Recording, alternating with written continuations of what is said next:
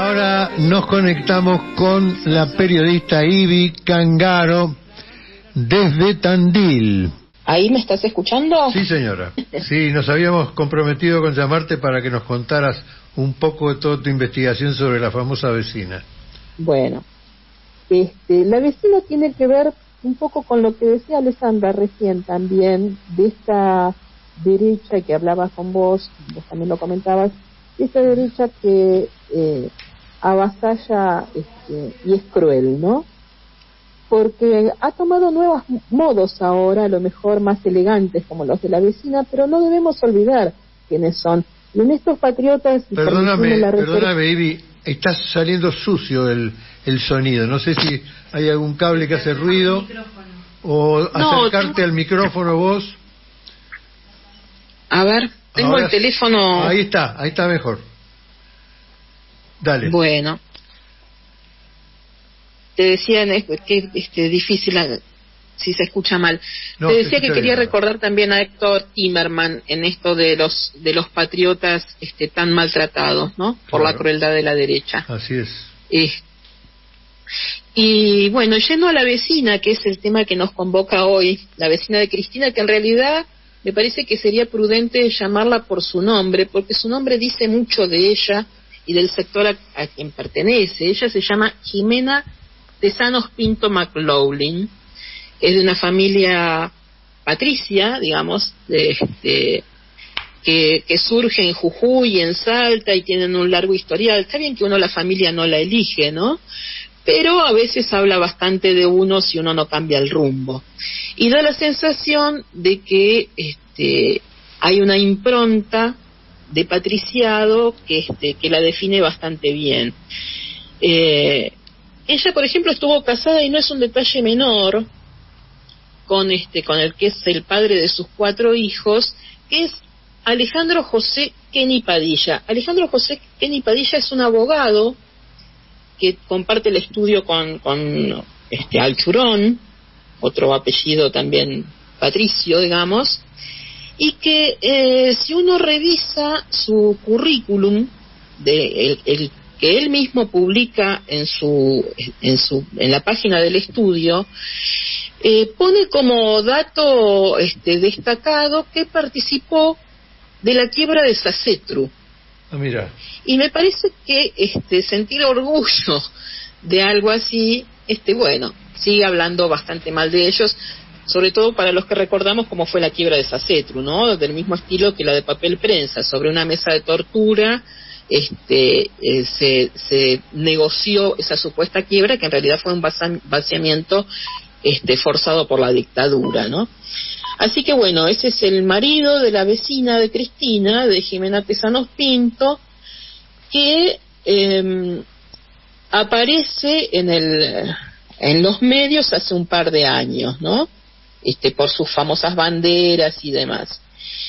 Y nosotros solemos minimizar algunas cosas, en este caso por, porque nos parecía una tilinga este, aspiracional sin mayor peso, y también hemos ninguneado aquellos primeros este, cacerolazos que empezaron en el 2012 y terminaron derivando este, en buena medida en un triunfo del 2015 con toda este, una operación mediática muy contundente.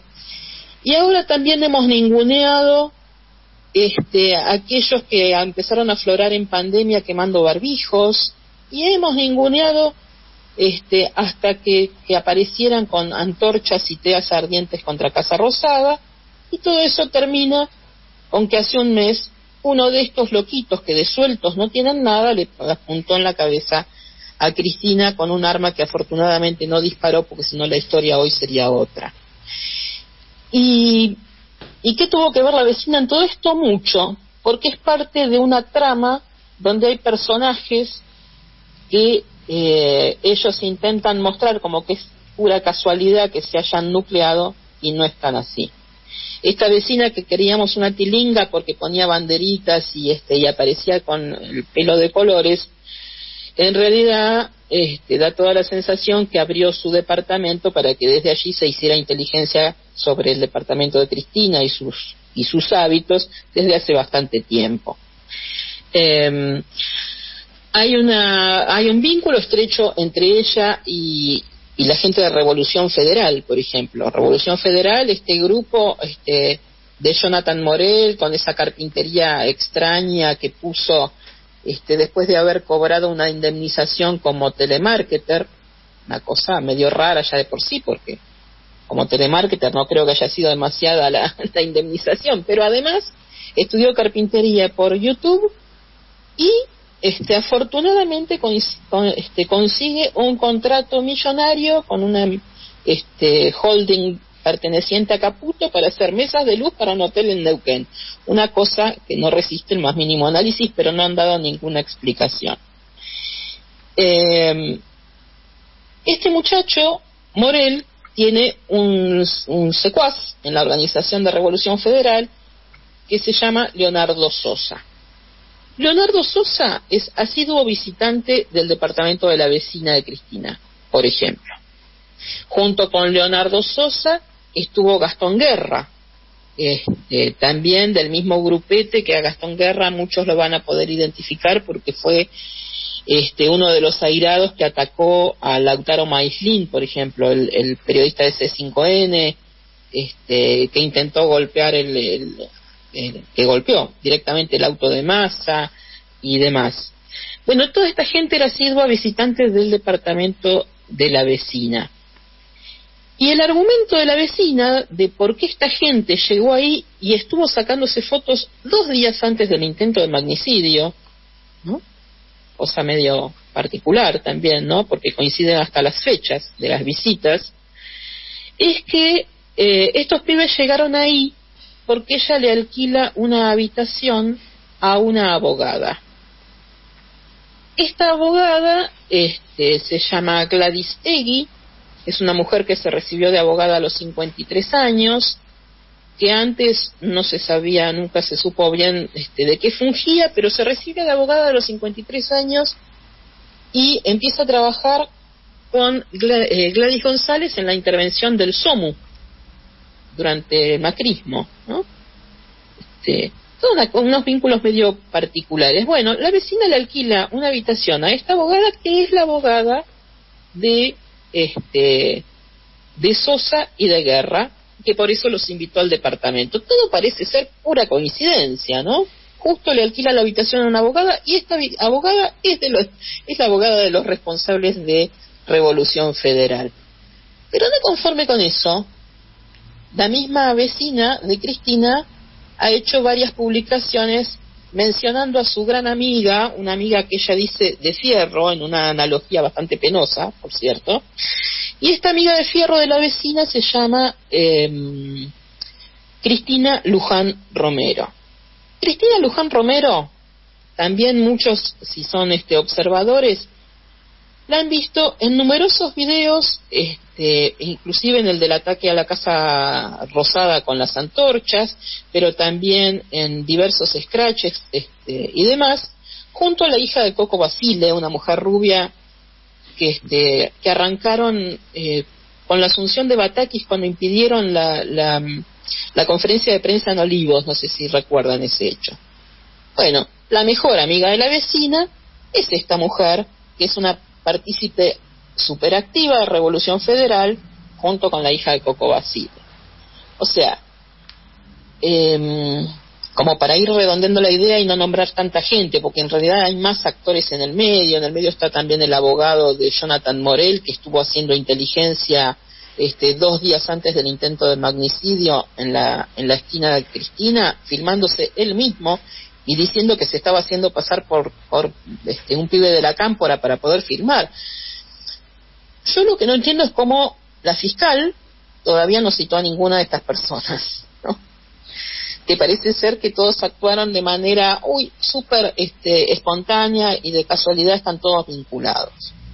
Este, y vinculados entre sí con la vecina que vive arriba, que dejó pasar también a una diputada de Formosa, que llegó hasta la puerta de Cristina, este, a mí me resulta muy sugestivo cómo todavía esta persona no ha sido citada a declarar y a explicar este, por qué, eh, por empezar, deja entrar a toda esa gente, ¿no?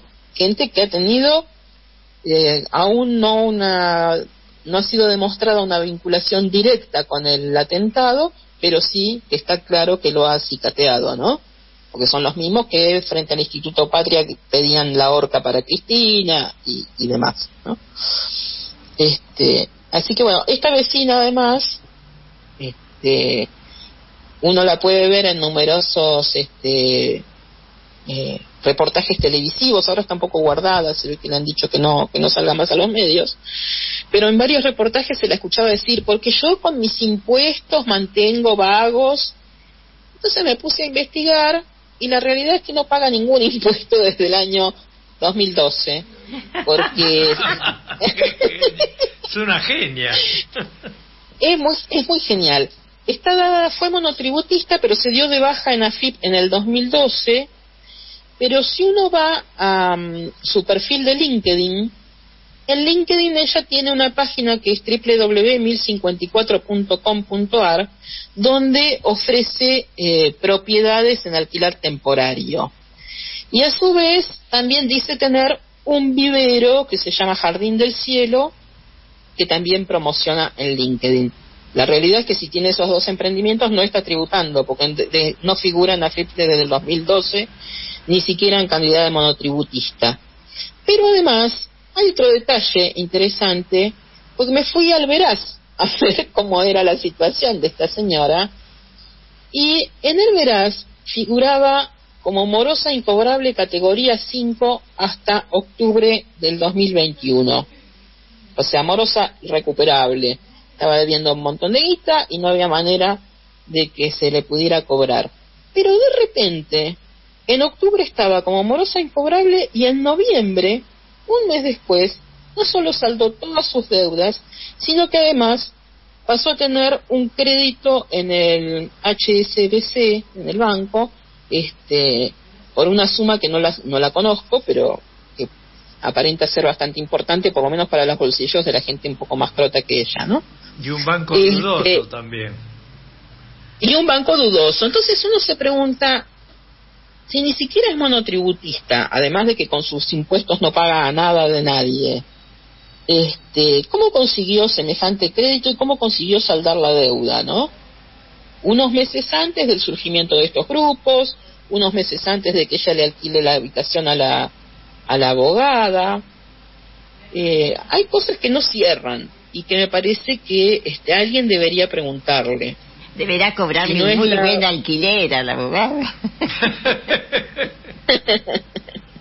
Habría que ver con qué paga el alquiler la abogada también, ¿no? Porque, también sus ingresos son un tanto extraños. La abogada ni siquiera es monotributista tampoco, así que no sé cómo le factura a sus clientes. Este, no se sabe. Eh, una mujer que se recibió muy grande, que su único este, ítem en su currículum es haber he trabajado con Gladys González en el SOMU y qué sé yo. Medio raro, ¿no? Me parece que cuando uno intuye que hay mano de obra desocupada de los servicios y demás, y, ¿no? Habría que pensar un poquito este, en esa pata también. Qué bueno, qué bueno. Ivy, te agradecemos muchísimo este informe, la verdad nos dejaste con la boca abierta. Hay muchas puntas que tiraste que valen la pena.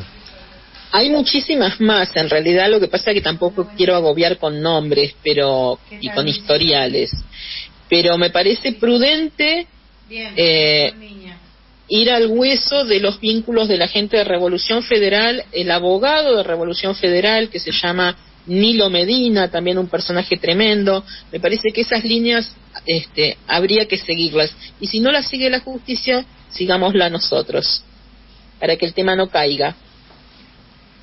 Fuerte abrazo, Ivy, ¿eh? muchísimas gracias. Muchísimas gracias a ustedes y feliz cumpleaños. Te, te vuelvo a poner mm, una canción para subrayar lo que dijiste. Bueno, gracias.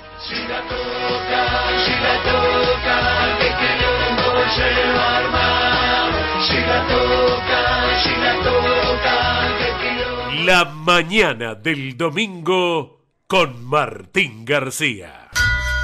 Hay que ir persuadiendo si es preciso de a uno para que cada uno sepa sacrificar un poco de lo suyo en bien del conjunto. Predicamos con el ejemplo, que es la mejor de todas las prédicas.